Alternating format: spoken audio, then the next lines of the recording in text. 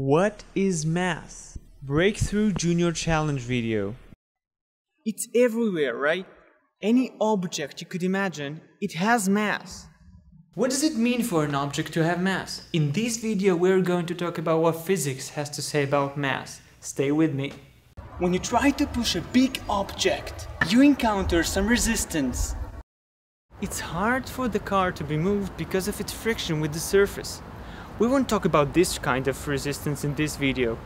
We will talk about the resistance of an object due to its mass. Assume I had two boxes. One is empty and one is full of books.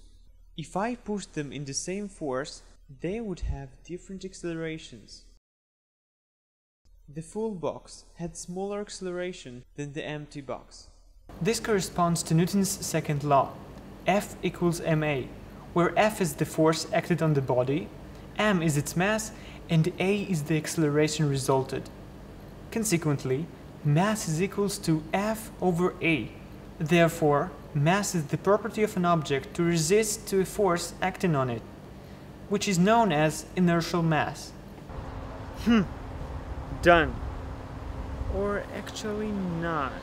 Newton and Galileo found that all the objects with mass apply force on each other. If I had mass 1 and mass 2, they would apply a gravitational force on each other, which depends on their mass and the distances between them. We feel it all time. Earth applies a force on us depending on our mass. Therefore, we can define mass as the ability of an object to attract other object by gravitational force. Till now, we talked about classical mechanics. This theory describes the physical phenomena we can observe with our senses. It describes the microscopic behavior of objects. In the 20th century, the development of physics changed the way we perceive mass. According to Einstein's special relativity, mass can transform into energy and vice versa. E equals mc squared. Where E is energy, m is mass, and c is the speed of light. Accelerator. Particles, for example, protons, are accelerated to almost the speed of light, and then clashing.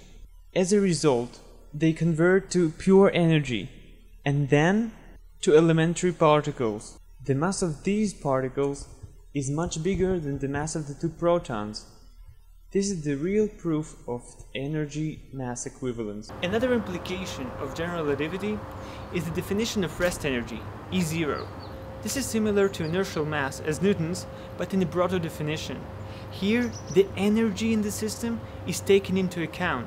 That's because mass is equivalent to energy, right? To find out what gives matter mass, we'll dive into microscopic level. It has a key role in finding the meaning of mass. According to the Standard Model, matter is composed of atoms, which you can see here. These atoms consist electrons, neutrons and protons. If we dived into protons and neutrons, we would discover quarks and gluons, which quantum physics is talking about. Therefore, we will ask, what gives them mass? This is where things get a bit tricky. In 2012, in the Large Hadron Collider, a new particle was found, the Higgs boson.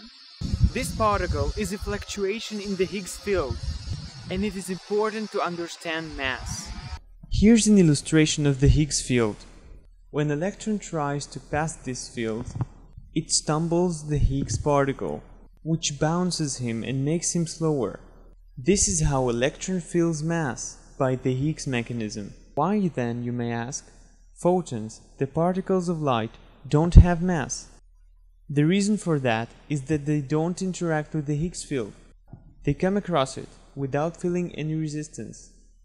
Though this important concept of Higgs mechanism does not explain gravity, scientists are working hard to unify this theory and eventually merging general relativity and quantum mechanics to one theory of all. So mass isn't simple as you thought. Stay curious, thanks for watching.